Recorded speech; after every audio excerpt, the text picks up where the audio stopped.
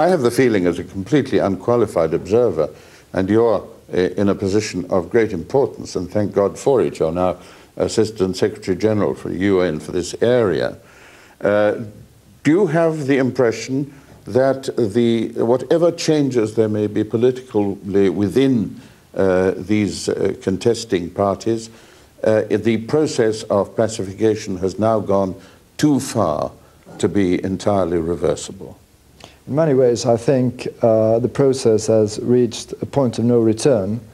Uh, if I may use a metaphor, um, I feel it's like um, uh, a tube of toothpaste where the paste is out and it's very difficult, maybe impossible, to get it in again.